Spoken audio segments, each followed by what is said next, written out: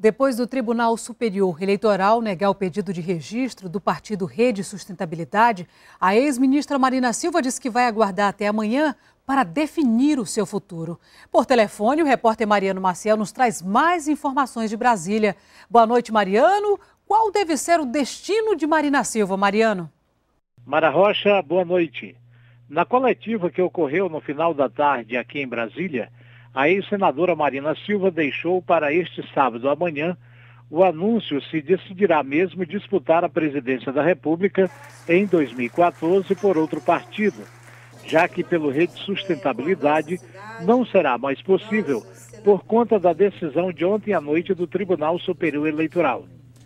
Pelo cronograma da Justiça Eleitoral, o prazo para filiação para quem pretende disputar a eleição do ano que vem termina exatamente amanhã.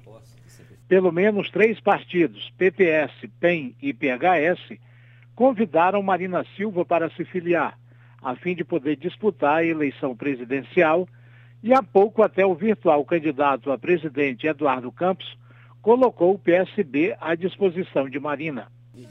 Tudo isso tem a ver porque nas pesquisas de intenção de voto, ela aparece como segunda colocada atrás da presidente Dilma Rousseff do PT.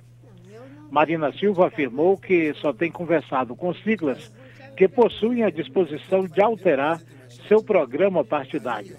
De acordo com a ex-senadora, a negociação com as legendas não se resume à candidatura em 2014, mas envolve projetos políticos e ideologia. De Brasília, Mariano Maciel. Obrigada, Mariano.